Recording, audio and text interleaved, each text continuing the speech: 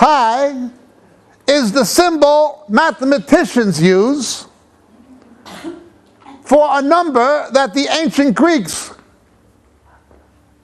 quite cleverly managed to figure out. This number is sometimes expressed as 3 and 1 seventh. Other times it is expressed as 22 sevenths, fractionally. Other times it is expressed as 3.14, and they've taken it out literally with computers thousands of places. I don't even know ultimately what, it might be an infinite number. Pi. There's pi and there's pi. Now, if you are talking about baking and you say pie, everybody knows what you mean. You mean the pizza pie. But if you were talking about geometry, everybody knows what you mean. You are talking about 3.14 Pie. Easy as pie. Where it gets complicated is this.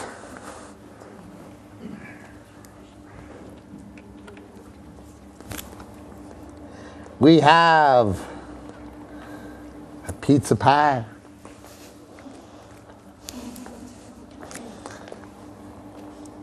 Pie.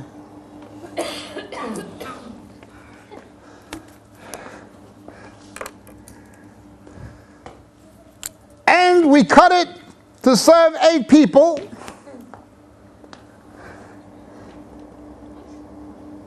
Geometrical patterns in diameter.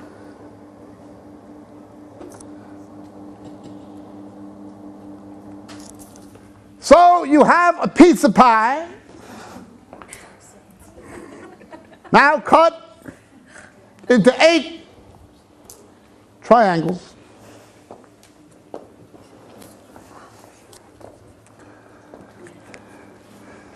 But suppose you wanted to figure out not the taste of the pizza pie, not what kind of mozzarella you used in the recipe for the pizza pie, not what brand of olive oil you put on the pizza pie, not what kind of toppings you want on the pizza pie. Suppose you wanted to figure out the area of the pizza pie. How does one figure out the area of a pie? Well, you use pi.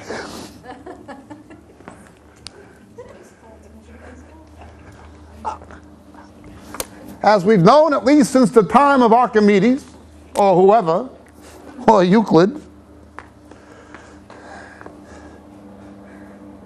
the area of a circle equals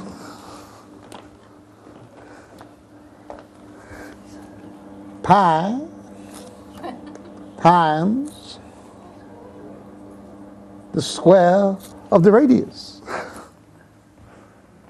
The area of a circle equals pi r squared. So if you want to know the area of a pie, you must first know pi. it's easy as pie. The radius is one half of the diameter. From there to there, that's the radius and you square it,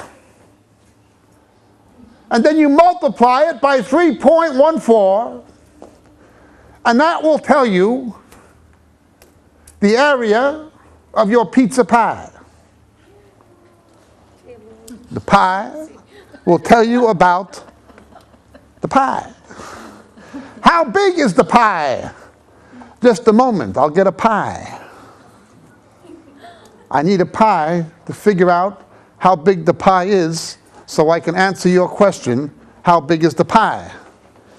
What do you mean you need a pie to tell me how big the pie is? Do you have another pie of the same size that you just compare it to? No. I mean pie, pie. What pie? You know, pie. It becomes the mathematical version of Abbott and Costello's Who's on First? Pi or pi? Half the diameter is the radius. You square the radius and you multiply it by pi. And once you multiply it by pi, you will know what is the pi.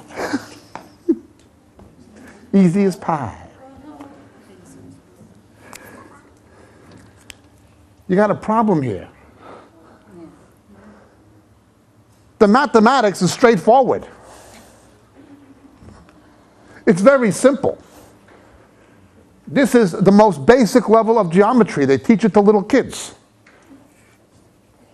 The mathematics is very simple. What's complicated is the terminology. Numbers can be easier to deal with than words.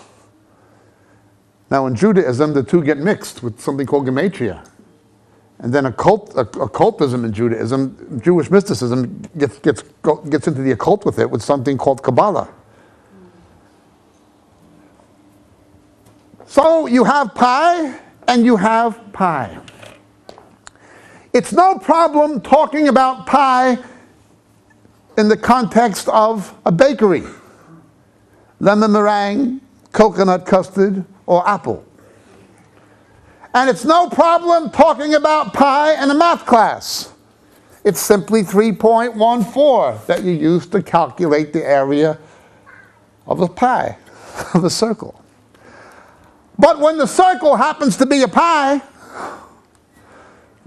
now you have pi and pi. This can be confusing to a little kid. Now, if I explain it to you and you're a rational person, you're not confused. But you would think that a mathematician would be even less confused. You'd think that a math teacher would be even less confused. What happens when the expert gets more confused?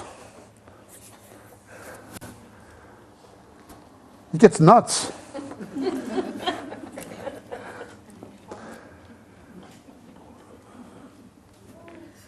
right now, in the United States, there is a quote unquote, for want of a better description, ecumenical rapprochement between Mormons and evangelical Christians with somebody called Dr. Dr. Ravi Zacharias at the forefront. Dr. Ravi Zacharias is joined by Dr. Professor Craig Hazen from Talbot Seminary, and by Dr. Richard Mouw from Fuller Cemetery. Doctor, doctor, doctor, professor, professor, professor. What kind of a professor of mathematics does not know the difference between 3.14 and coconut custard? There is no professor of mathematics anywhere in the world that does not understand the difference between 3.14 and coconut custard. However, we have theologians. Theologians who do not understand the difference between pi and pi. They are preaching in Mormon tabernacles, saying that evangelicals have borne false witness against Mormons. Richard Muse actually said that, and Ravi Zacharias and Craig Hazen went along with him saying it. They didn't even speak up. If you read the Book of Mormon, the Mormons say that the Jesus Christ of the Church of Latter day Saints is the half brother of Satan. They say Jesus Christ, the Jesus Christ of the Book of Mormons, is the half brother of Satan. The Bible says that Jesus Christ is monogenes in Greek, the only begotten of the Father. Amen. So you've got two different people saying that they are Jesus Christ. Does that make coconut custard equal 3.14? The Mormon Jesus is not the Jesus of the New Testament. They're completely different. Now, if you were talking about Mormonism in isolation from the gospel, you'd have no problem defining their Jesus as this other Jesus. If you were talking about the gospel in isolation from the Book of Mormon, you'd have no problem talking about the real Jesus of the gospel as distinct from the Mormon one. But when you put them both together in the same discussion, you better make sure if you're talking about coconut custard, we're 3.14. 22 sevenths does not equal tomato sauce, mozzarella, dough, and olive oil. Pie is not pie, and pie is not pie. You've got to distinguish. Which pie do you mean? You've got to distinguish which Jesus do you mean? But we have people who are professors not drawing that distinction. This is the devil's geometry. One, one of the generic names or words for God in the Arabic language, one of them is El. Arabic has a lot of words and many dialects. Another is Allah. Now,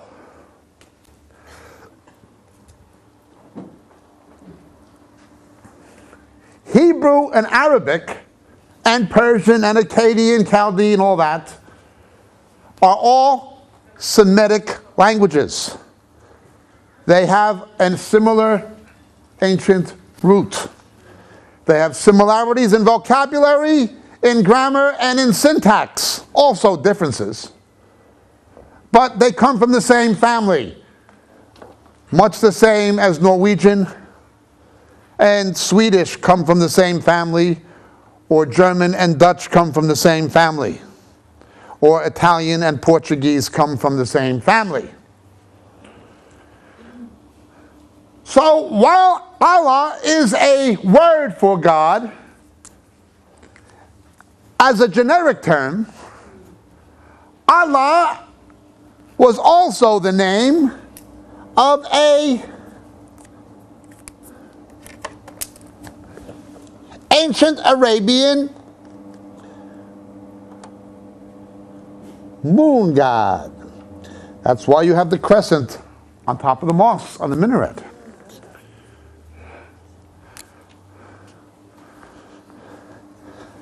But Allah is also the equivalent of the Hebrew Elohim.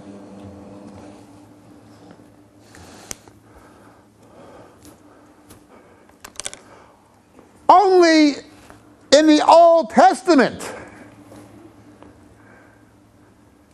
Elohim was not called Elohim as a personal name. He was called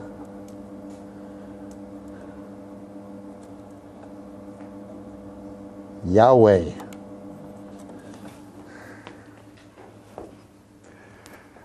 Yahweh is not the moon god. Yes, if you were to translate Elohim into Arabic, you could translate it Allah. You could translate it Allah. And if you were to translate Allah into Hebrew, you could translate it Elohim, or you would. But Yahweh is not the moon god. But the Jesus Christ of the gospel is not the half brother of Satan of the Mormons. Coconut custard is not 3.14. This is not a new problem. I've explained many times it is an old problem.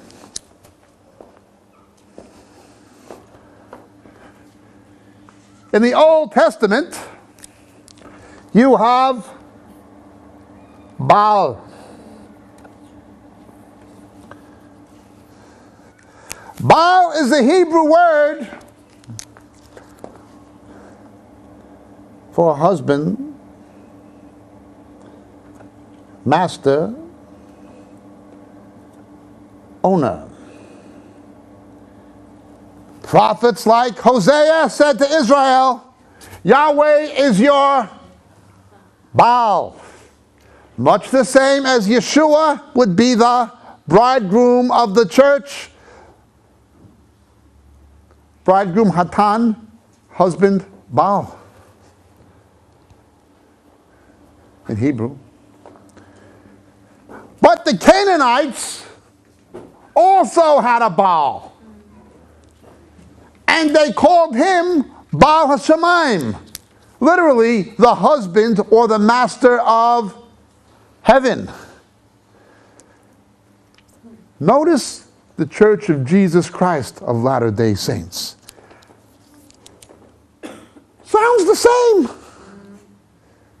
If I was just to say pie, that's all, just pie, would you know if I meant pizza or if I meant 3.14. You'd have no way of knowing because it sounds the same.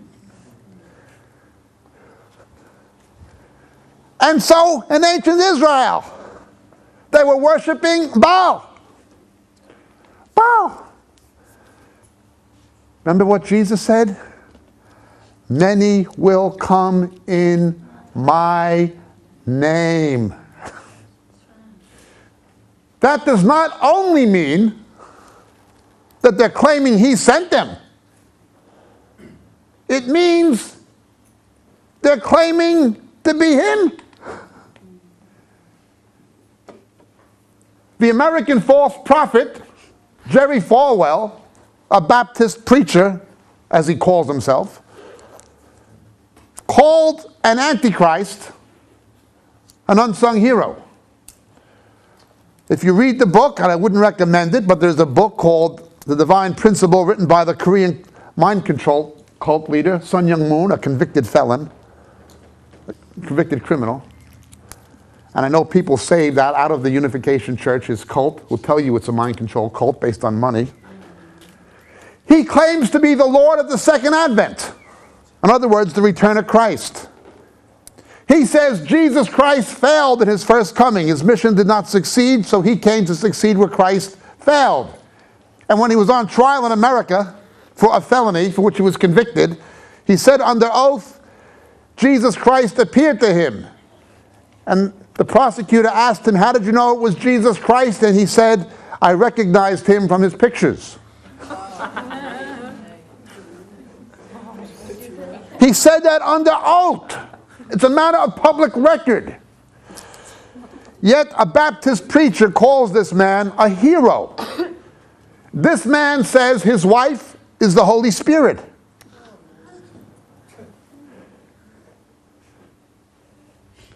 Many will come in my name.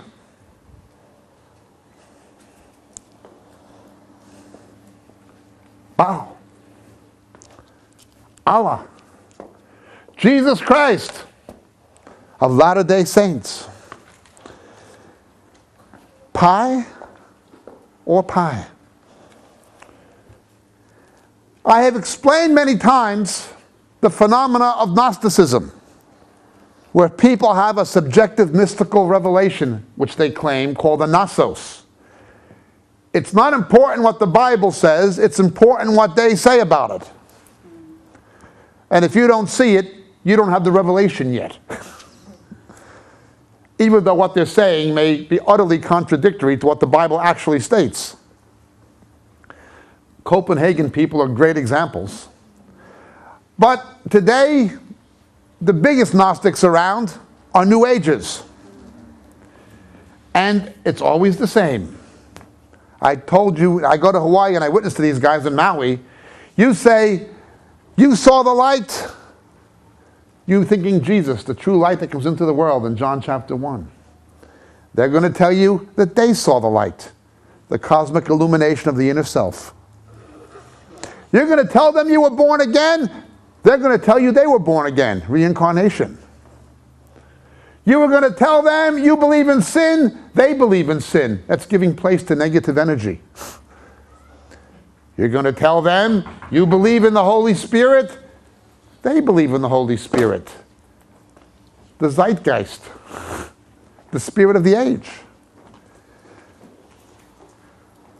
No matter what you say to them, they will say they believe the same thing. Only their light is not your light. Their Holy Spirit is not your Holy Spirit. Their definition of sin is not your definition of sin. Their idea of new birth is not your idea of new birth, but they'll call it new birth. They'll call it Holy Spirit. They'll call it the true light that illuminates.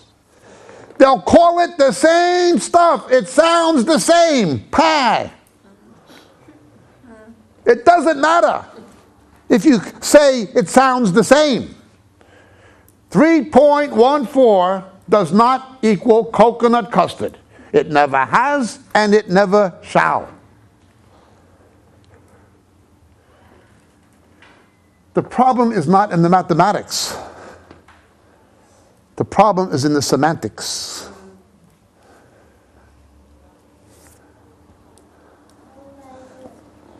And so it is with grace. In English, grace is undeserved favor. In Hebrew, grace is Chesed, God's mercy in the covenant. In Greek, grace is charism. We get the word charismatic, a gift. So in English, grace is undeserved, unmerited favor. In Greek, it's a gift, not something you earned. In Hebrew, it's God's mercy in and through the covenant not something anybody could ever merit. It's the mercy of God towards sinners. That is grace. The New Testament says we are saved by grace. We did not earn our salvation. The reason we are born again and on our way to heaven is because Jesus took our sin on the cross. We didn't earn it, He earned it for us. In Roman Catholicism, it's different. Grace does not mean what it does in Hebrew or in Greek or even in English. It rather means actual or sanctifying. It's an ethereal substance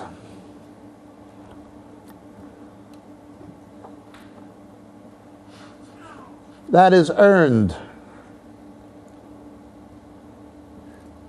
It's earned by sacraments. It's earned by novenas, by rosaries, by doing works, even by doing things that are contrary to the Bible, like praying to the dead.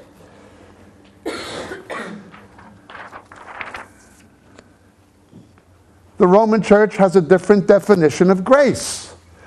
They will tell you, yes, we are saved by grace. Oh, the Reformation was a mistake. The Protestants say it, the Catholics say it, everybody agrees we're saved by grace. Ask Chuck Colson, shake hands. We're all one now. The Reformation was a misunderstanding. No, it was not a misunderstanding. The reformers were Roman Catholic priests who read the Bible. They made a lot of mistakes, they got a lot of things wrong, but they knew what Catholicism was. And when they went to the Word of God, they really found out what it was a false gospel, a paganized religion, and a moral institution. And Protestantism has turned out to be just as bad, and in some cases worse. But let's look at it. Grace. We're saved by grace. We can all agree we're saved by grace. The same as we can all agree on pie. But do you mean the pizza or do you mean three and one seventh? This is the devil's geometry. You're never going to find out the area of the pizza with the wrong kind of pie. You're never going to get to heaven with the wrong kind of grace. You are never, ever, ever going to worship the true Allah without worshiping the true Allah. you were never going to know Jesus Christ unless you know the true Jesus Christ. Pie is pie. But what do you mean by pie? It's the words that throw people off. Not the values, not the numbers, not even the definitions. It's just the way the words are used. yeah. And they can be very clever mm-hmm. in the way they use words. Let's understand this further. Can two go down the same road unless they agree?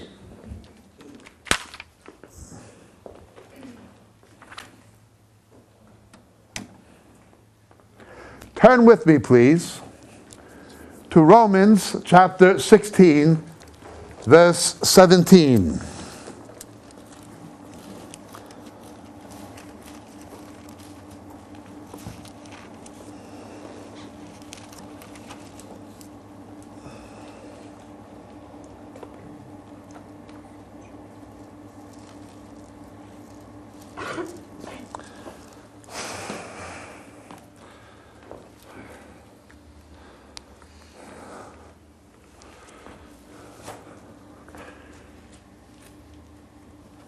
This is alpha.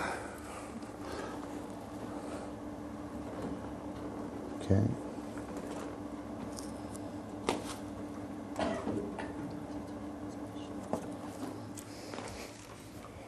This is omega. Alpha and omega.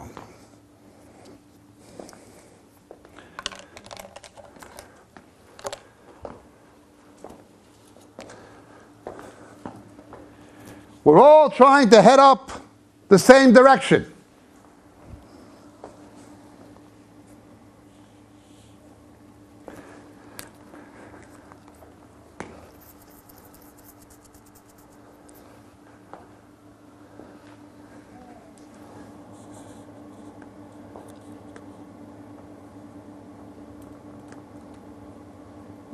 Straight up. That's the direction. 180 degrees.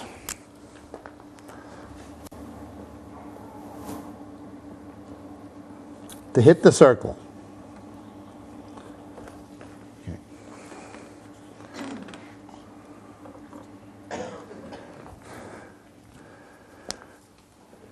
Next to it,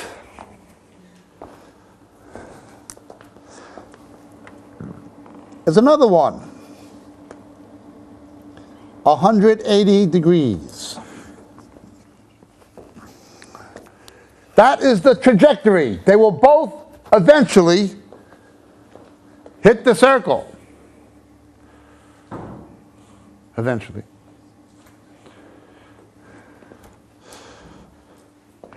They can begin at different points of the alpha baseline. But as long as they are 180 degrees, they will reach omega. However, in order to reach omega and needing to be 180 degrees, there is a way they have to make sure they are 180 degrees. That is called, in geometry, a right angle.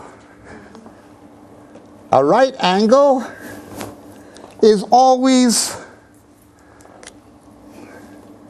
90 degrees. There is 90 degrees in a right triangle. Is there?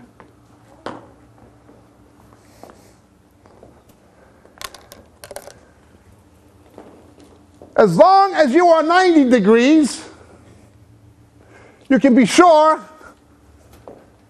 you are heading in a 180 degree direction. But how can you be sure that there's 90 degrees? Simple. You cut that in half.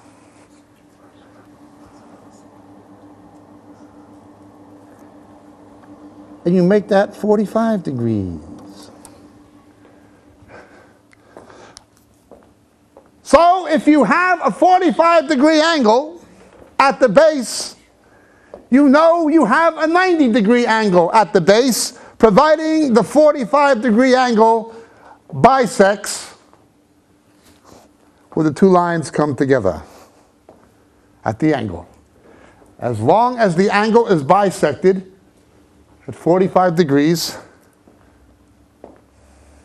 you know you got a 90 degree angle.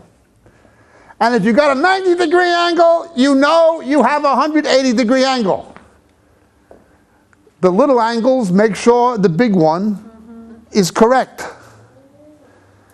And the big one is what counts. But if the little one goes off just a little bit, you're going to have a problem. Only the problem may not be easily apparent. This line can look just like the other lines. Only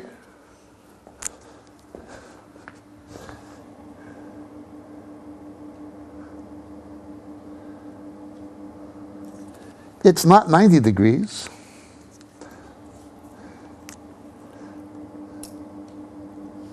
It's 89 degrees.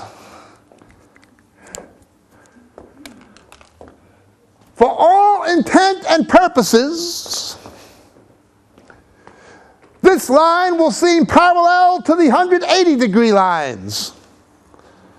But it's not 180 degrees it is off slightly. And as a result of being off slightly, its trajectory will change. It will never reach omega. All you need to do is make one slight change in the degree of the base angle. A slight little change. You got a problem. You're going off. Oh, they look parallel. We shouldn't argue about it. It's going in the same direction. But it isn't going to arrive where it's meant to. All you got to do is make one slight change. It's almost unnoticeable initially. But eventually, you're going to be out in space, way off base. Physicists know this. Astronomers know this. Mathematicians know this. Engineers this. Why don't preachers? It's the devil's geometry. It looks so good and so right. Now, understand something.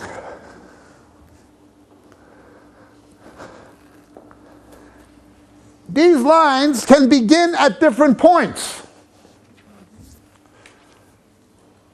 Somebody can be a premillennial dispensationalist. If you like theological terms, that's the closest to what I am.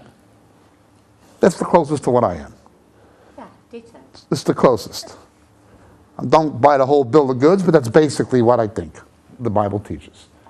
Now, of course, these terms like dispensationalism are things that the church invented to try to explain systematic theology. I don't really make major issue of them, but it's just a way to explain something. Like the word Trinity, it just is a way to explain something that's in the Bible, even though the word Trinity is not in the Bible, it explains the truth. Okay? The word millennium is not in the Bible, but it, it, it, it's, it, it's just a word that the church invented to explain a truth. Well, dispensational is the same. That's my view. I believe that. I also am a moderate, charismatic, cum Pentecostal. I don't believe the gifts of the Spirit ended with the apostles. I don't like the extremists and the experiential theology. I don't believe most of what you see today with the Elim and the charismania is, is, is God. I don't believe that's charismata, but I do believe what's in the Bible. I don't believe in cessationism, the view that these things, I don't believe that. But there are people who see that different than I do. I know some good Christians who, at least in theory, are pretty well convinced these gifts don't exist. Part of the problem, of course, is they've only seen the counterfeit. they haven't seen the real. That's part of the reason. But they might be somewhere different on the baseline than I am. But they're still looking at the same map. They're still heading in the same direction. Nobody says that people who don't operate in the gifts of the Spirit won't be saved. Paul does not say that in 1 Corinthians. On the contrary, he says that there are people who do not operate in the gifts who are saved. Do I agree with their position? No. Do I think they're misguided? Yes. But does that mean I think they're not going to heaven? Of course it doesn't. You know them by their fruits, not by their gifts. And in many cases, the- the gifts you see today are not even real. You can begin on a different point as long as you're heading the same direction and you don't go off at the base point. What constitutes alpha? What are the base issues? I have always said repeatedly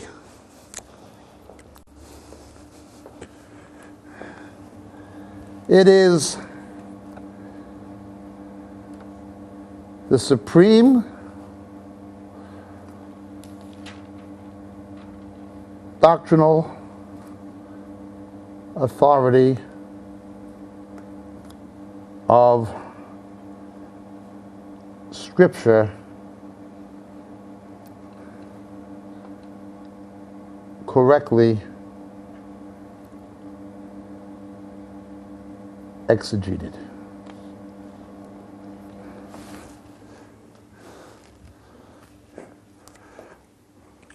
The only basis for Christian doctrine is the Word of God. And the only basis to interpret the Word of God correctly is with exegesis. What is exegesis? Taking out of the Word of God what is in there in the original languages. But then there's something called eisegesis. What these people do,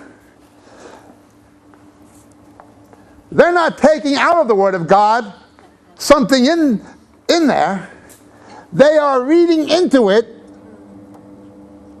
something that is not. Like replacement theology.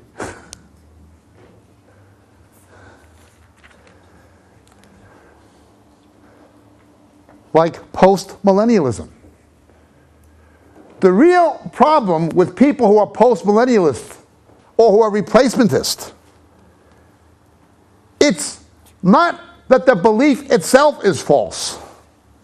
It's the way they arrive at it. They have to read things into the Bible the Bible does not say. The New Testament never says the church is Israel. The New Testament never says God's finished with the Jews. But the issue is not replacement theology. The issue is Scripture.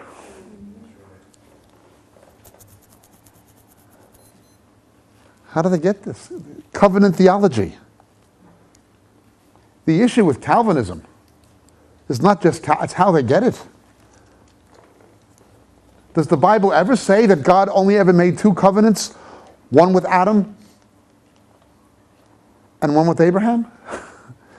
No, Jesus said, This is the blood of the new and everlasting covenant. They're negating what the Bible says and what Jesus said with something of their own invention.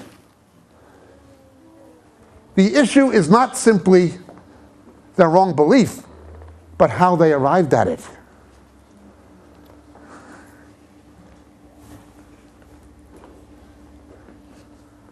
That's kingdom now theology, dominion theology. Second,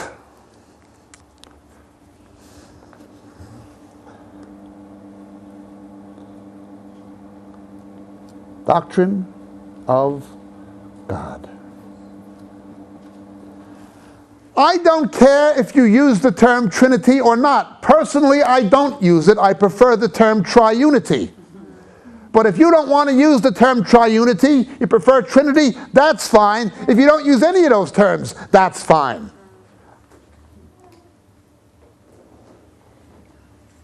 But the Bible says that there is one God in three eternally existing persons. One God in three eternally existing persons. I don't care if you say Trinity, and I don't care if you don't. I don't care if you say triunity, and I don't care if you don't. I don't care if you explain it in terms of the Athanasian Creed, and I don't care if you don't. What I do care is you understand the doctrine of God that Jesus is fully human and fully divine. If somebody has a wrong doctrine of God, oneness, that they fudge the issue of the triunity of the Godhead, like Tommy Tenney or T.D. Jakes, or if they believe Mary co redeemed us when the Bible says God is our Savior, now you got a problem. Now you've changed the angle.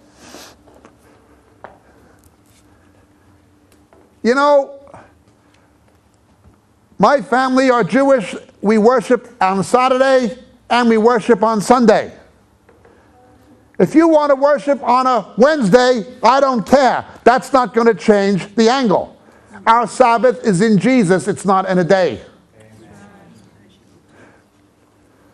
My family, for cultural and testimonial reasons, we eat kosher. It doesn't matter to me if you like shrimp. Bon appetit.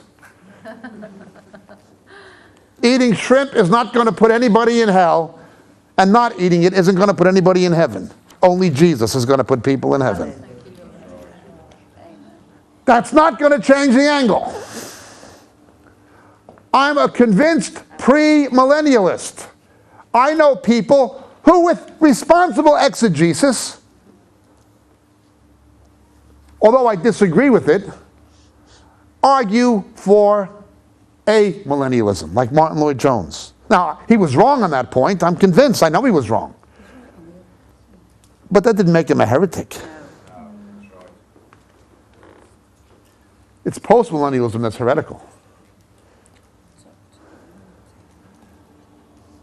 Because postmillennialism says the church is going to conquer the world before Christ comes and we're going to take dominion.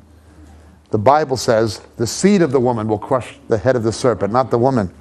The Lord of glory will trample Satan under your feet. What they do is they deify the church. You understand? They deify the church. In effect, they put the church in the place of Christ, making the church an antichrist institution. Third,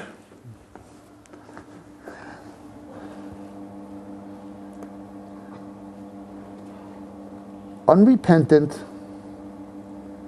immorality.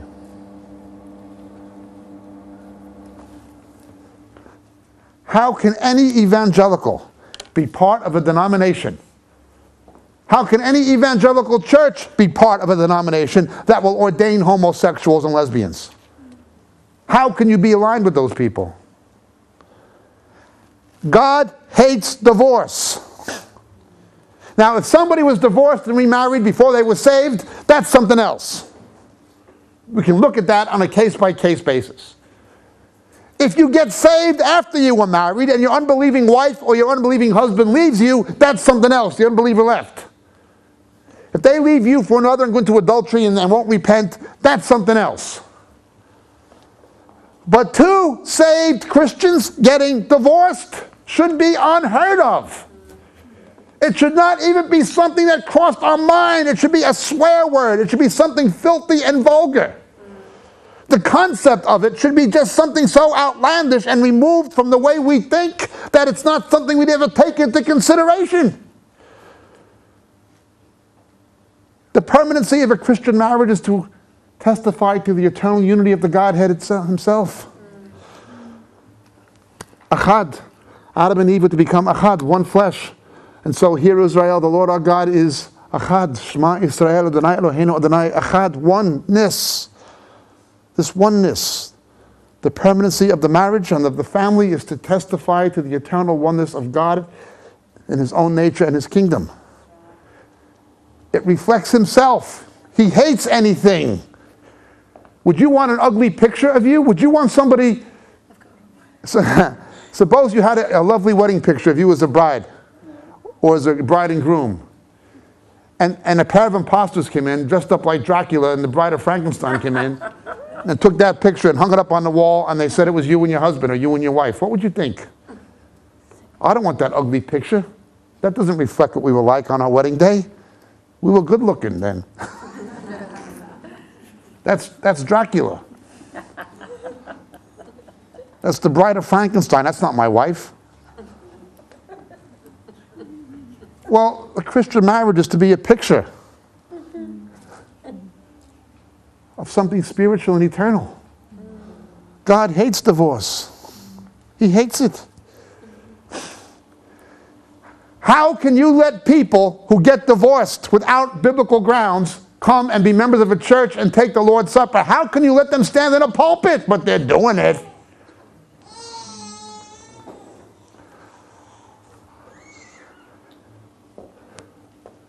It's unrepentant immorality. The base angle has gone off. There's a fourth one.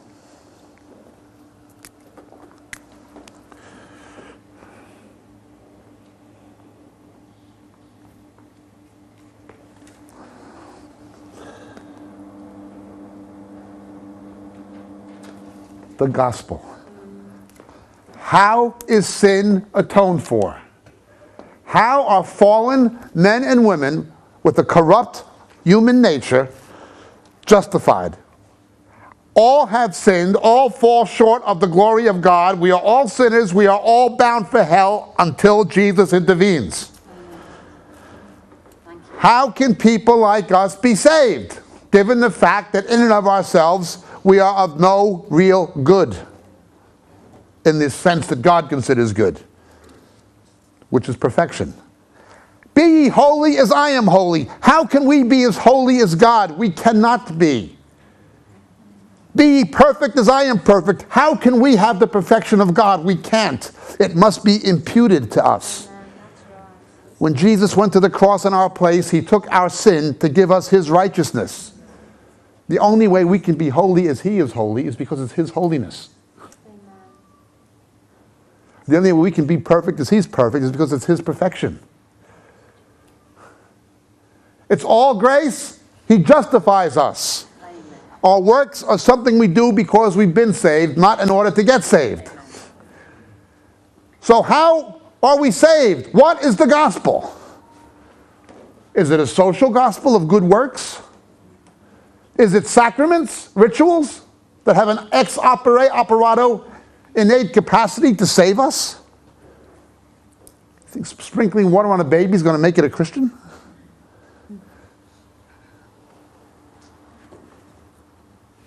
What's the gospel? Is it the Mormon celestial law? No, there's only one gospel. He who knew no sin became sin. He's the propitiation for our sins, the expiation for our sin. God became a man and was nailed to the cross in my place and rose from the dead to give me eternal life. That if I repent of my sin and put my faith in Him, He will save me. That's the gospel. They got another gospel, they're not Christian.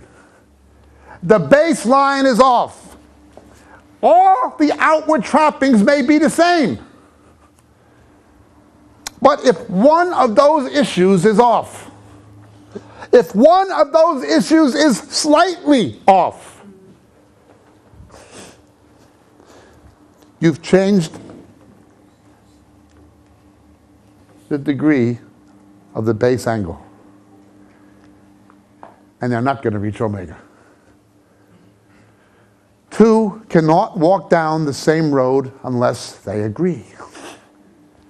In conclusion, let us look at Romans chapter 16, verse 17, please.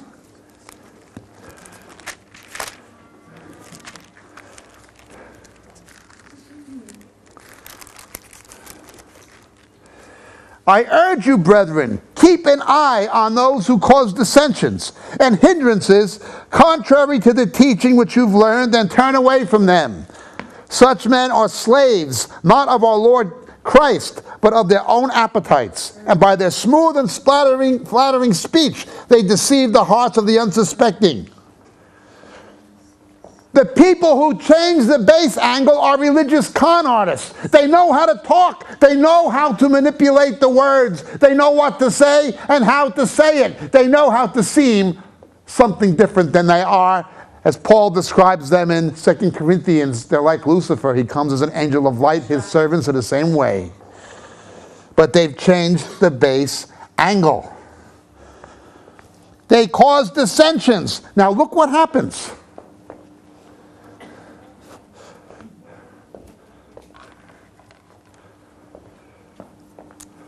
Suppose only one of these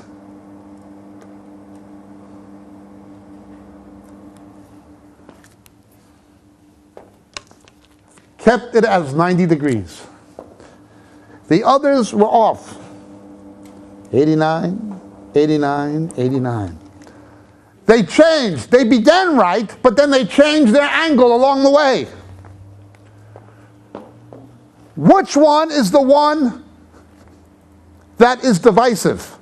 The one that broke away or the one who stayed on the same path?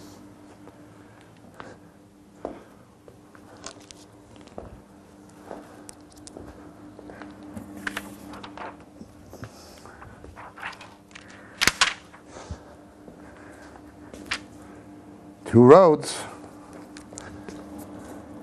a road to heaven, hell. Two roads. The road to heaven is the straight one.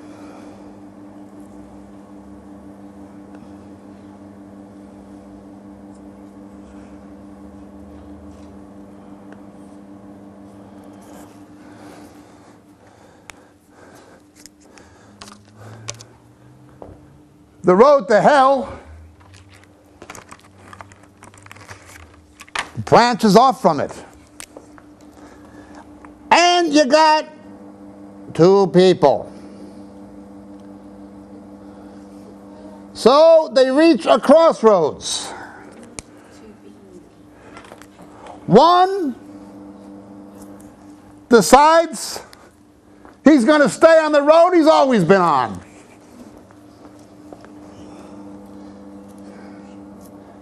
They've both walked the same road, but one is going to continue. The other is going to turn away. He's going to take another road. When the road divides, which one is divisive? The one who stays on the road or the one who gets off the road and takes another? But in the last days, you have the apostasy. You have the great apostasy. While it's only a handful of people will stay on the road of the apostles' teaching, the majority of people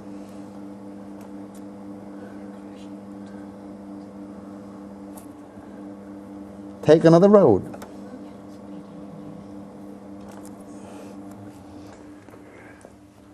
And this majority who've taken another road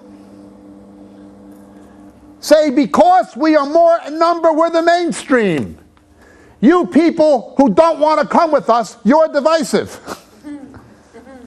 it's what Isaiah says Woe to those who call good evil and evil good. The biggest youth minister in this country, Stephen Chalke, Yeah. says Hindus can have salvation without faith in Jesus. Muslims can have salvation without faith in Jesus. Jesus said, Unless you believe that I am He, you will die in your sin. Jesus said, Unless you were born again, you will not enter the kingdom of God. No, says Stephen Chalke.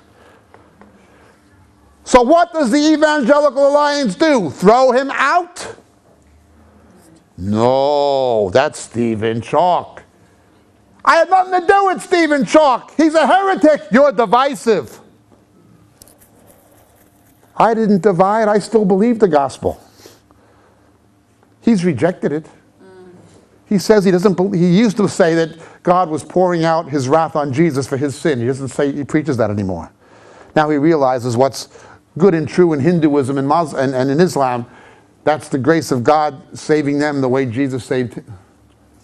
This is the apostasy of the last days. Only those who won't go along with this, those who speak out against it, they're called divisive. No, no. God says it's Steve Chalke and his friends who are divisive. I still believe what I've always believed. I still believe what Charles Spurgeon believed. The Baptist Union doesn't, they're ecumenical. I still believe what the founders of Elim believed, apart from the British Israelism nonsense. It's Elim that's divisive. They've left their own heritage. I still believe what the founders of the Assemblies of God believed. It's Weaver and the Assemblies of God that are divisive. I still believe the original. I believe the original because the original was biblical. There may have been certain differences in terms of where they began on the baseline.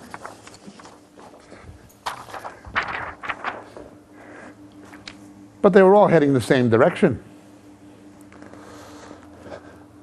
You change the angle slightly, and you wind up in the wrong place. There must be heresies, heresies, 1 Corinthians 11 19, among you to prove which is true. There's plenty of heresy today. Will prove which is true.